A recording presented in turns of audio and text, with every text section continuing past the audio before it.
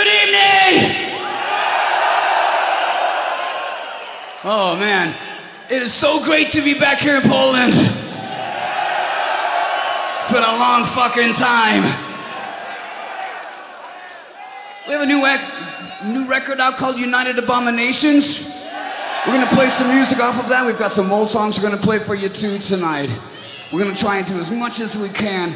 I'm not gonna talk a lot, I'm just gonna play. This song is called Washington is Next.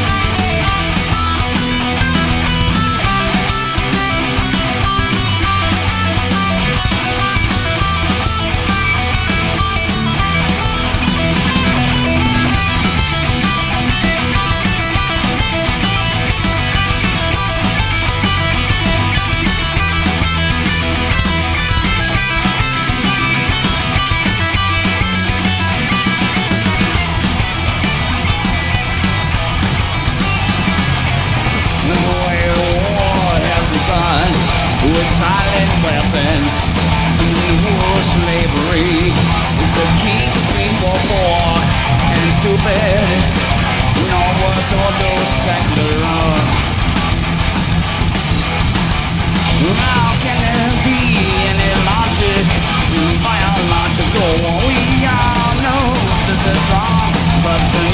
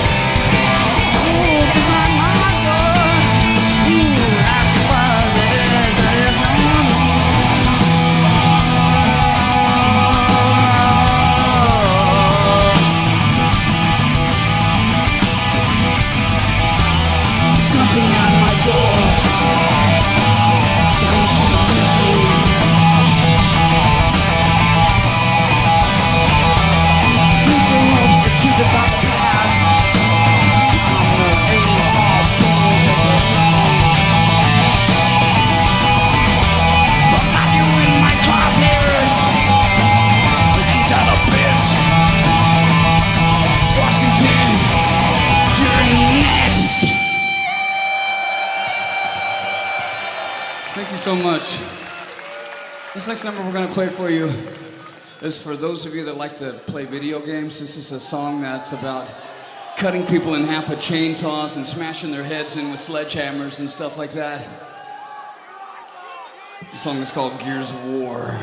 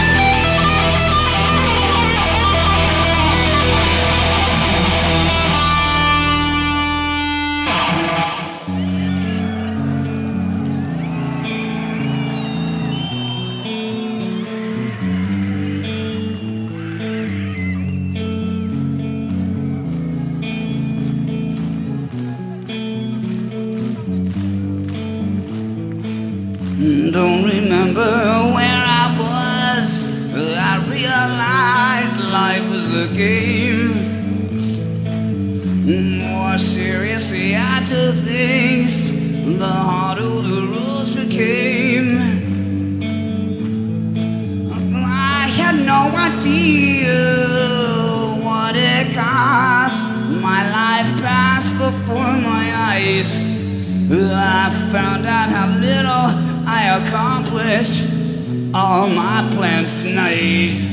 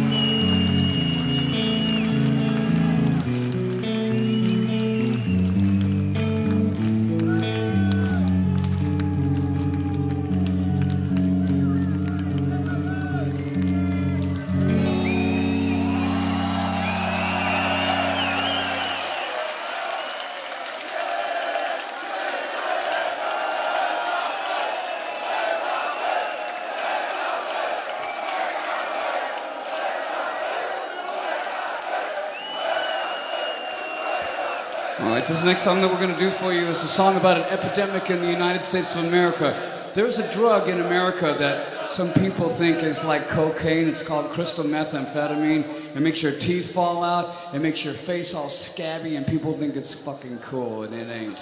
This song is called Burnt Ice.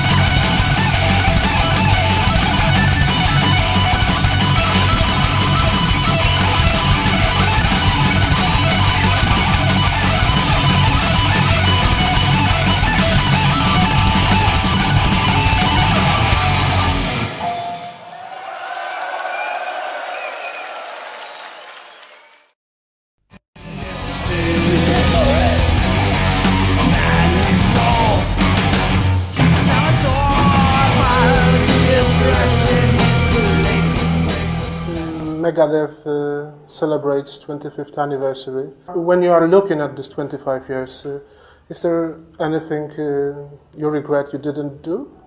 I regret? No. No. That I, that I didn't do? No. I've done everything I want to do.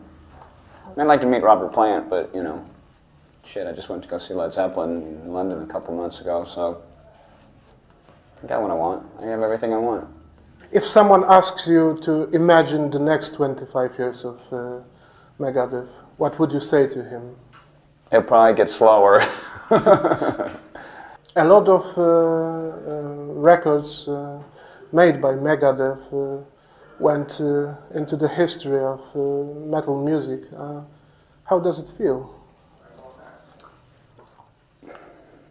I guess it feels good. Uh, you know, it, it, it all depends. There's been a lot of records that have gone into metal history. You know, they're historical records that suck. You know, and, and there's there's records that are in metal history for having great album covers. You know, I, I mean, how many album covers have we voted number one just because it had a nun with her tits out?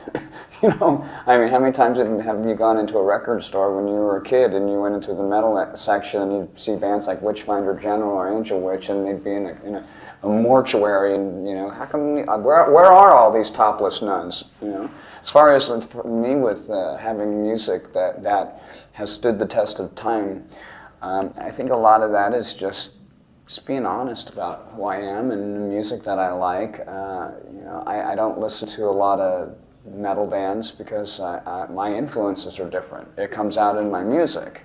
Um, the byproduct of what I listen to is, is metal. Um, if I listen to metal, it'd be kind of going backwards, you know what I mean? Because I draw my, my inspiration from everything from Motown to the Beatles to Led Zeppelin to, you know, two of my favorite guitar players are, are in new wave of British heavy metal bands. I think that that's the point because, uh, in spite of uh, good uh, covers of your records, uh, they are different than with uh, good music. Yeah, no tits. Noted. Uh, if you have to choose uh, a favorite one, what would it be? Favorite Megadeth record? hmm Megadeth cover or record? Megadeth uh, record, Megadeth uh, re- record uh, concerning the music. Um, well, I, I, it's, it's hard to say because it's kind of like you know being on a sinking ship and, and only having enough life rafts for one child, and you've got ten. You know, it's it's hard to say. Know, and frankly, you know, in, including our new record, um, it, it, it's pretty dumb not to say my new record's the best because you know you want to take opportunities to sell your product. But I think as far as like technically, uh, Rust in Peace was uh, um, a record that really changed a lot of people's lives. Peace Sells was a record that um, really blew the heavy metal marketplace open in the States. Countdown to Extinction was a huge commercial success in the States for metal. And um, I, I think between those three records and United Abominations, um, you know, you, you pretty much can listen to those four records and get an understanding of what the band's been like for the last 25 years. Now, we tried to put a sampling of all that into Warchest because Warchest is something that it shows with some of the different lineups where it shows different songs uh, uh, by different lineups and stuff like that. You know, and people have said stuff like, well, God, you've had so many lineup changes. It's like, no shit. You know what? The first two guys were junkies and they used to steal our gear for heroin. You're fired. The second guy, the drummer, was Chuck Behler, who was a crack addict, and Jeff Young tried to sleep with my fiance. You're both gone. And then Nick Menza lies about having cancer. You, you don't lie about that shit. You just don't. So, I mean, the bottom line is, is that most of the people that aren't here aren't here for a reason. If you had a guy that stole your stuff and tried to bone your old lady and lied about having cancer in your band, either you know uh, he's in there because he's a drug dealer and he's giving you stuff for free, or he's your you know like your little brother or something. You have to babysit him. You know, I mean that, that that's the kind of stuff that you just you can't expect to be functional. You can't expect to, you know, be successful when you've got that kind of stuff going on because when four people play music together, that's as close as you'll ever get without, you know, swapping blood with one another, you know. And when you find out somebody's tried to sleep with your woman or, or you know, uh, steal your stuff, nah, that's not cool.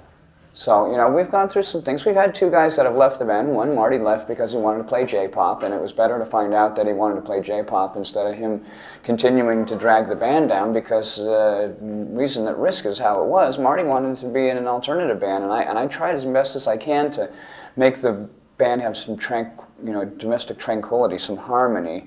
But uh, after Risk was done, I said, Marty, we need to go back to our roots, and that's when he quit because he wanted to. He wanted to go even farther alternative, and it's like, dude, no way. There's just there's no way. So after Risk is when we made the big turnaround, and I started to realize that I'd pretty much lost my way. I was I was bending over backward for the wrong reasons, and I and I want to play metal guitar. You know, I don't care about being successful on, on, on the radio or with MTV because it doesn't really, uh, it doesn't translate when you try to be successful. If you're true to yourself and you are successful, that's fantastic. You know, but for me to try to, to guess what the fans of MTV or what radio listens to, it's a losing game. So, you know, I, I, that's the beauty of when you are successful. You get to, to kind of go like, are you kidding? Because we just won five awards in Japan, and uh, I, we were second runner-up on two other ones. You know, and this is with one of the biggest magazines, biggest metal institution in Japan is Burrn Magazine, and, and uh, Masa Ito's radio programs and stuff. And, you know, we won everything. So, pretty excited about that. 25 years later, would I think I'd still be here? I thought I'd be dead by now, to tell you the truth. I thought I would have OD'd and died. I did OD, I did die, but I didn't stay dead.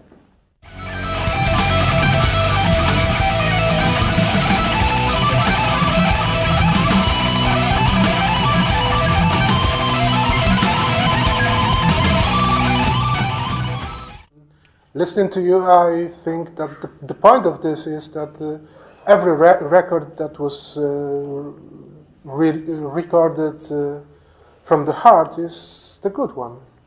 I think so. If you if you're if you're doing anything, I mean, music is kind of like for somebody who who is a painter or, or a chef or, or somebody who's even a mechanic, you know, that, that does something. If you take pride in what you do, you know, you, are going to uh, really find enjoyment at the end of the day. When, when, you know, you look at a lot of people that are really lazy with what they do, it shows up in their work. I'm really dedicated to what I do. I'm 46. Um, I don't feel 46. I don't look 46. And, and I don't play 46.